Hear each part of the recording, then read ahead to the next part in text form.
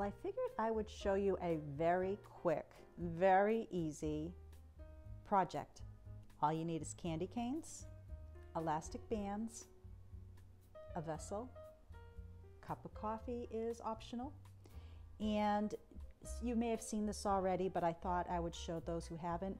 I'm going to make a simple vase with candy canes that can be either used for holding a candle, holding flowers, greens.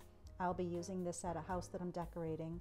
And I was going to use all cinnamon because the color is perfect for what we're doing. But unfortunately, I didn't have enough for this particular glass vessel and I got the last two boxes of this color. So I went back out and I got the green, red, and brown, which should still work well with some of the coloring in the house, and I have another box of these if needed. So I'm going to set up the camera here and show you super quick what I'll be doing.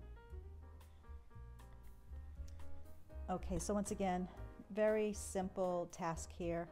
You can use one elastic band, but I find doing this with two helps because when you first start the row of candy canes on here, two candy, uh, the two elastics really seem to help hold them up when you're working on it. And then you could always adjust it afterwards. But all you gotta do, you ready for this? All you need to do is go in between, yeah, all simple, simple. Just having trouble grabbing the elastic bands to start. All we're gonna do is put these around the whole jar or container that you select like this. And like I said, for a while they're gonna start flipping and flopping and going their own direction. I'm gonna roll this close to the bottom and I'm gonna put this one close to the top. And just do this all the way around. You can of course alternate colors. There's so many great color candy canes out there now that it's limitless. You can match your party, your decor, whatever you're making this for.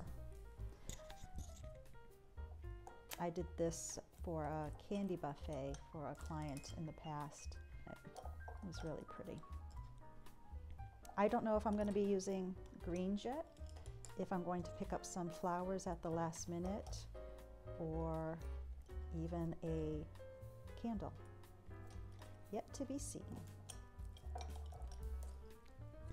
So let me most likely speed this up so that you don't have to fall asleep watching me do this. But you can actually see they're starting to twist and fall, but that will stop once there's enough to hold each other up.